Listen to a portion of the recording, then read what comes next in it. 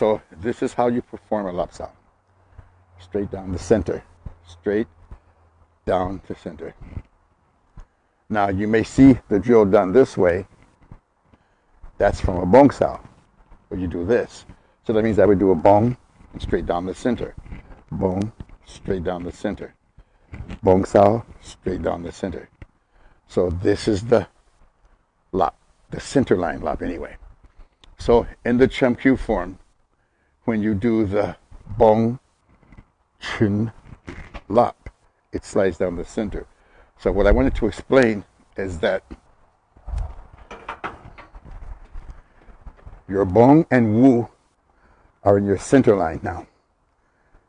But when you do the uh, the chun sao, you go to the central line and then slide down the center. So it's going to look like this. Bong and wu in the center, then go to the central line and slide down. So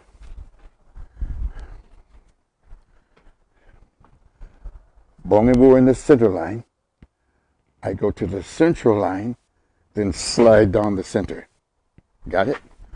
Bong and in the center line, go to the center line, and then slide down the center. You don't want to do that windshield wiper pattern arc like that. So when I do the bong and the wu in the center, if I did this, this line of attack is open. See? I want to cover myself. Even if I'm in a fighting position, if somebody throws a straight punch, I might want to cover like this. If I covered like that, I'd get hit. If I covered like this, I'd get hit. So from here, bong and wu in the center. Chin sao, the threading arm, goes on the central line. Then it comes back to the center. So bong, central line, center line. I'll forget this hand. Just do the left hand for this. Bong out here. Uh, sorry, bong in the center, chin and the central, back to the center. Bong here, back. So where your elbow is in the bong sao, that's where you that's the line you want to trace. Because if I were here, that's the line of attack. Okay? Even though this is for a round punch, it's the same thing because the guy could do a round punch, maybe a fake, and then shoot out across. So if I did this,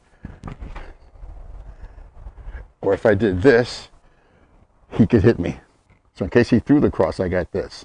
So this is the same principle you would use for a straight punch or a round punch. So in the round punch, I'm getting it. I'm raising his arm above my head but I'm covering this line in case he throws a secondary punch, and then I lop down the center. There is no arc. The tendency when people step is to swing the arm out away from the center line. So I bong, chun. So sliding down this cane, straight line. Bong sao, slide down the cane. I don't deviate left or right. Because my goal is to get the punch over my head. The punch comes, I bring it over my head, lop, and hit. Now the form shows you here and you pull back. That's for training. Uh, sorry, center line. Here, pull back. But in actuality, it would be here, lop and strike, or here and lop and strike, like you do in the third part of the form. So remember, the bong and wu are in the center. The wu stays here. This goes to the central line. Then you lop and pull back. So bong in the center, central line, straight down the straight down the center. Remember that.